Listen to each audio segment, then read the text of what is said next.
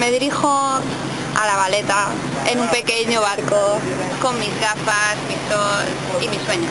Una ciudad vieja, hola José. Y de repente hay un Burger King. Nos han dicho que venir a la baleta es como retroceder 60 años y es cierto, está todo hecho una mierda. Parece que acabe de pasar aquí la guerra. Unas bonitas vistas desde el otro lado. La gente, en su pobreza, se baña. Soy la guía turística Diana, en Malta. Mira, José, enfoca. Todo eso son pues unos sitios que se llaman las tres ciudades.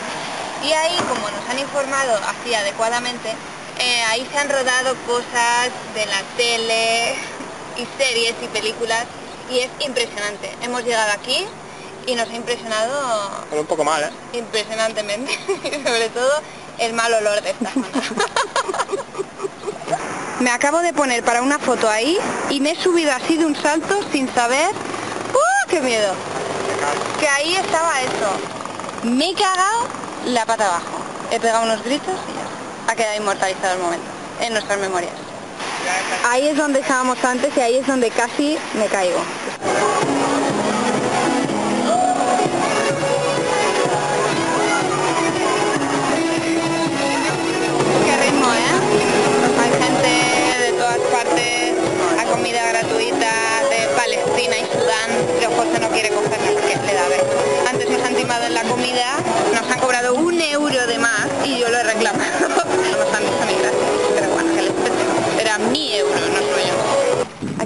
Uno se entretiene como puede.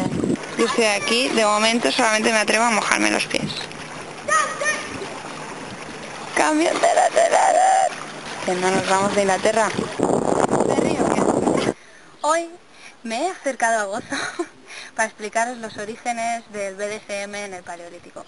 Venid, venid, acompañadme. Esto es un antiguo templo de los años 4000 antes de que Y es típico ver en los templos unos agujeros que realmente los expertos no saben para lo que sirven. Ellos deducen que era para poner cuerdas. Yo opino, pues, que eran glory holes, ¿no? Dios, qué cara pues ¿tú sabes lo que es? No. Bueno, pues digamos que es como, serías como una muñeca de Ah, vale, vale. hinchable, pero de piedra, ¿sabes? Bueno, la verdad es que yo me lo habría pasado muy bien en esa época. Y ya está, ese era el origen. Pues ya no hay nada más. Entonces te preguntarás, ¿para qué venían aquí a poner en el año 1800 su tontería de, ay, estoy con no sé quién, no sé quién? Pues era un templo que encontraron en esos años y lo utilizaban como picadero. Utilizaban pues ya los agujeros y ya como les daba la gana. Yo veo que ahí se puede hacer una orgía perfectamente. ¿Puedes enfocar por favor esto? Que es que hay un tío haciendo una exposición y me parece la mierda más grande del mundo. Esto es un poquito más de su arte, el cual podéis admirar y también escupir explicación de lo que puedes hacer con el sofá de tu casa cuando se rompe y no lo quieres tirar a la basura. Hacer una exposición y espero que no la hayan pagado por esto.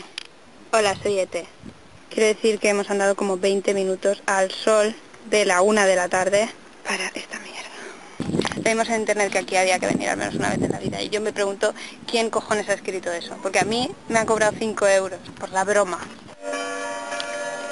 Esas son las vistas desde mm, la capital de Gozo. Y se ve que en una iglesia se han vuelto locos. Pues no para eso nada. Y así mágicamente me he quemado y he encontrado mi firma, yo qué sé, mi yo del pasado vino y firmó. Nada. En mi último día de viaje he venido a esa playa paradisíaca, que no afrodisíaca, que yo pensaba que era lo mismo. Blue Lagoon. Y ahí la gente pues se, se tiran por ahí. Está bastante alto. Hemos obtenido el rojo guiri deseado. Y, ya, ya sabéis. Nos vamos ya del sitio donde hemos realizado acciones ilegales, es decir,